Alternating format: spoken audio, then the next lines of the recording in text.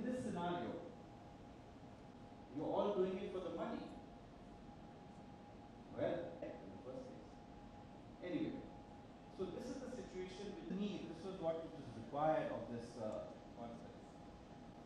The monster that we have been made out to look like, are we that? Those areas that they have worked. We will have uh, people like It's uh, really a, a matter of pleasure, a matter of honor for us to have you all here in the of Bhopal and in the state of Madhya Pradesh.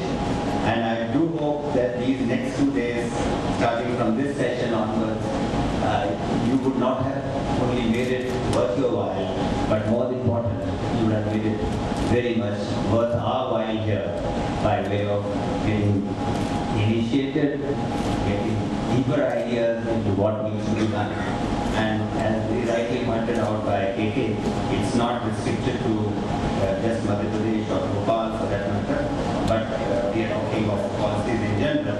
Nevertheless, uh, you know, sitting here in Bhopal at the heart of Madhya Pradesh, which the heart of India, uh, we do uh, oftentimes relate to issues which are more immediate, of more immediate nature to us. And then, of course, um, welcome to all the galaxy of experts here, senior civil servants, past and present, ladies and gentlemen.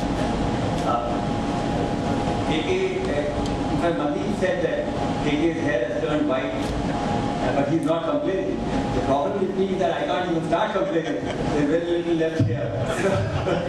so, uh, uh, but yes, I know how what kind of effort goes into into this kind of uh, an organization for a conference of this nature, and uh, and therefore we are really fortunate that you are here.